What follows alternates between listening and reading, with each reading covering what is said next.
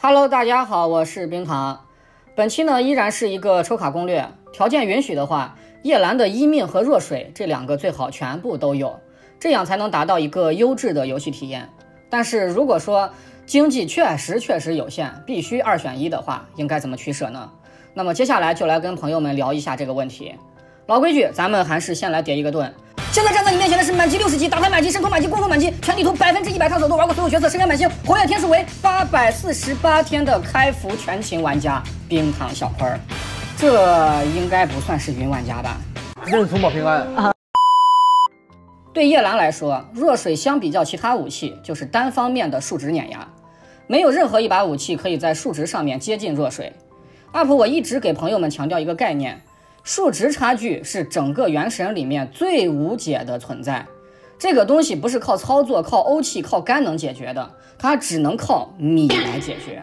举一个最简单的例子，弱水夜兰一个 E 可以打三万四千四百八十四，西风夜兰一个 E 只能打两万零九千九百九十九，这其中一万三千四百八十五的差距永远不可能缩小。注意 UP 我的用词，永远。你带拐，我也可以带拐；你去刷圣遗物，我也可以刷圣遗物。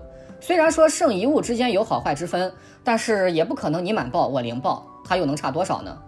这其中的差距会在刷圣遗物的过程中潜移默化的缩小。大家都有的东西，随着时间的积累不会产生太大的差距。但是我有你没有的东西，策划定下的数值差距是多少，就永远是多少。然而充能不一样。为什么很多玩家都会去追逐叶兰的一命？因为零命叶兰在实战中偶尔会出现充能卡壳的情况，而一命则可以大幅度的改善这个问题，从而提高游戏体验。这就是一命的主要作用。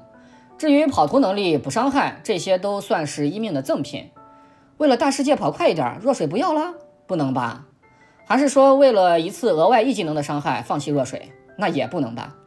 改善叶兰的充能有好几个方案，一命并不是唯一的选择，我们还可以从配对方面下手。现在广泛应用的几个队伍，雷国、逆绽放、胡征、萧征，这些队伍不是有双水，就是有充电宝，叶兰根本就没有太大的充能隐患。除此以外的，像是赛诺基站这种不能靠配对提供增益的体系，我们还可以从圣遗物上面下手，绝缘四会是一个不错的选择。如果萌新玩家还是不懂上述的一些游戏知识的话，那么 UP 我再讲的通俗一点，改善充能的方案有很多，一命并不是唯一的解法，它只能算作是最简单粗暴的那一个。我们还可以通过配对和圣遗物去优化这一问题，在圣遗物上面做出的牺牲将会通过弱水进行强度回补。要知道弱水的强度可不是几个圣遗物词条就能高攀的。它所带来的数值碾压是无论如何都无法解决、无法缩小的，唯一的解决方案就是打不过加入。所以在经济能力确实有限的前提下，很明显，弱水是优先级更高的那一个。当然了，如果朋友们还是选择一命，也是没有任何问题的。这确实是一个非常优质的命座，UP 主我举双手赞成。还是那句话，喜欢吃米饭的没有错，喜欢吃面条的也没有错。人类本就是具有多样性的。这才应该是这个世界本来的面貌。那么本期内容就先到这里了，希望可以解决朋友们在开头部分的疑惑。如果有帮助的话，还请一键关注，长按三连，让更多的朋友看到哦。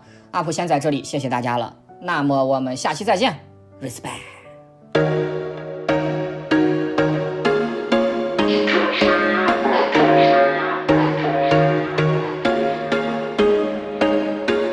There was once a day that I would pray for you. I'd go and misbehave just so you'd notice too. Sneaking looks up and down from across the room. And Damn, what a hell of a view. I feel good, you look great